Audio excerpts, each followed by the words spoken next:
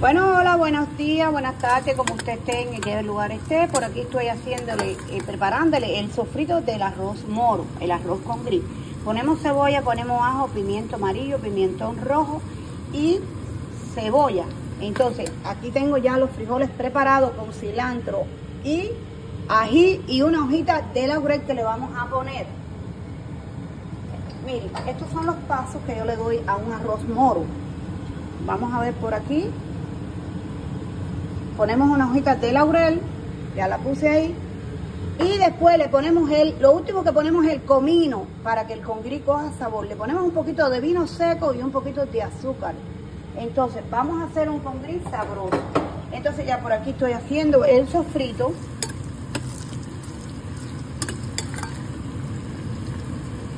Estas son comidas cubanas, ¿ok?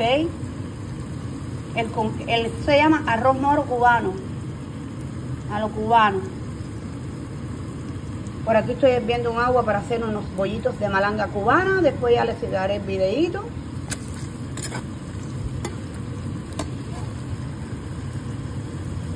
Vamos a ponerle sofrito a las dos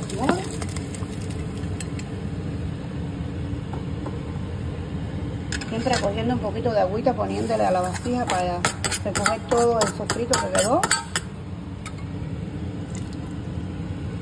Y ahora vamos a poner el arroz que ya está lavado.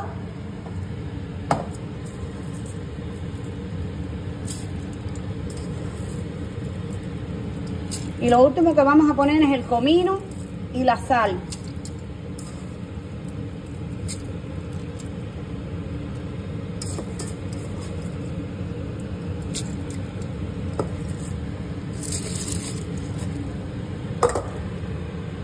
Le vamos a poner la sal.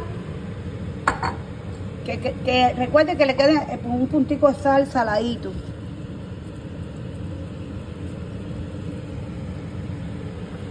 Y vamos a revolver. Otra cosita que quiero decirle, recuerde que esta olla es moderna. Tenemos que saber la cantidad de agua que vamos a poner porque si no nos queda el arroz como nos queda duro o nos queda ensopado. Y vamos a decir una frase que se dice muy bien por ahí. Si no sabes hacer con gris, no lo hagas. Déjaselo al que lo sepa hacer. Entonces vamos a ponerle más sal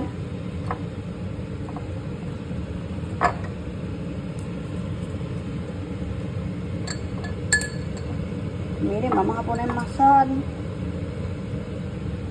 Estoy poniendo sal porque después queda desabrido. Y le tenemos que sacar agua porque tiene mucha agua. Y al tener mucha agua nos queda como ensopado, como digo yo. Y el arroz moro tiene que quedar desgranado. Como que ya está pasadito de sal, vamos a poner otro poquito de sal. Y vamos a revolver. Pero le quiero dejar un secreto aquí a todas esas personas que tengo en mi canal.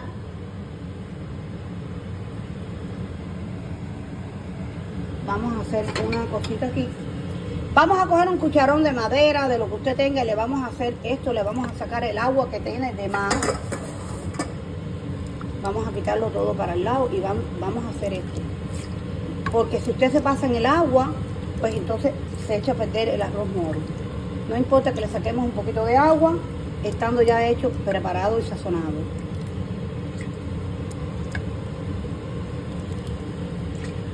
Entonces vamos a revolver a ver cómo va quedando. Cuando usted vea que va quedando así, con poquita agua,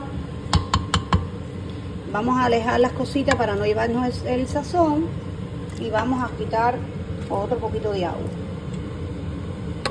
Pero el secreto que quiero decir aquí es un secreto de años y era de mi mamá que me enseñó. Y esto nunca lo he dejado yo, siempre lo hago. Es que cuando usted sepa que haga esto y el cucharón sigue llenándose de agüita, de frijol o de agua, el arroz le va a quedar a usted como ensopado.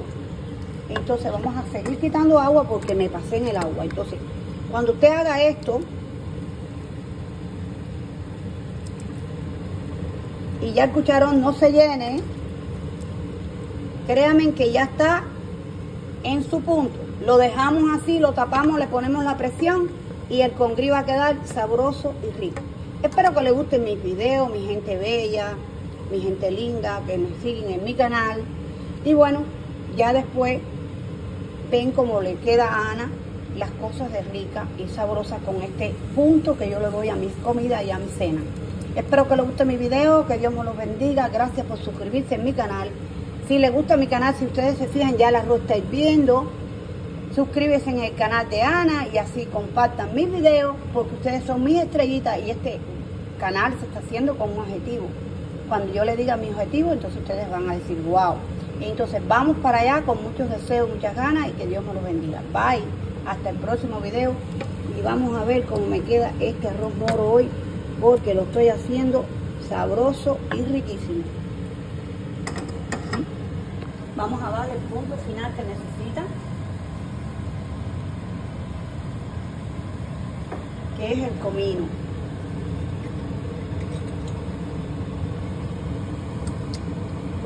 Vamos a poner el comino.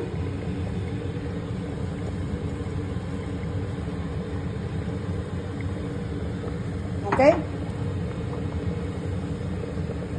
Bueno, espero que les guste el video. Vamos a ponerle la tapa, le ponemos los minutos y ya está ahorita el arroz de Ana, la pinareña, la cubana. Así que Dios me los bendiga a todos. Hasta el próximo video. Bye.